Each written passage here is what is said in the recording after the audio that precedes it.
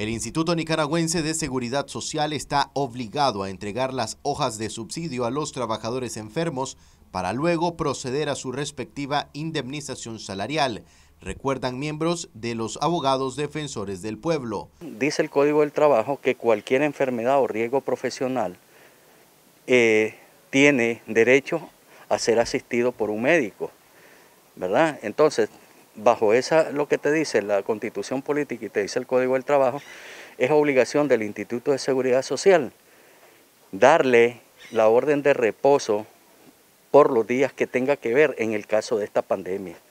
Es decir, si no le están dando al trabajador esa orden de reposo, entonces el trabajador tiene derecho a pedirle una aclaración o poner una denuncia ante el Instituto de Seguridad Social, el, superior jerárquico de ella, para tener una respuesta. Si no tiene una respuesta, en este caso porque constitucionalmente está obligado el Instituto de Seguridad Social de darle la asistencia médica, todas las prestaciones de ley, es decir, si el trabajador entró de subsidio, el 60% de su salario se lo tiene que dar el INSS.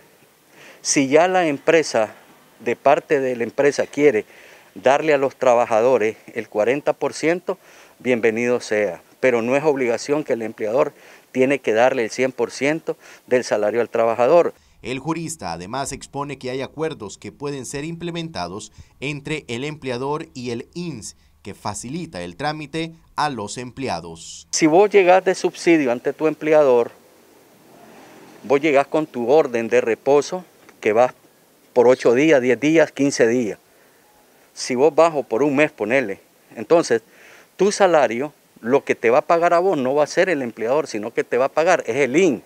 Y va a haber un cheque, salvo aquellas empresas que tienen un acuerdo entre el INS y la empresa, que no te preocupes, yo le pago al trabajador y después vía cheque vos me reembolsás. O ese eh, aporte que dimos me lo tomás como un abono para la nueva factura que venga son acuerdos porque yo lo he visto. Marcos Medina, Noticias 12.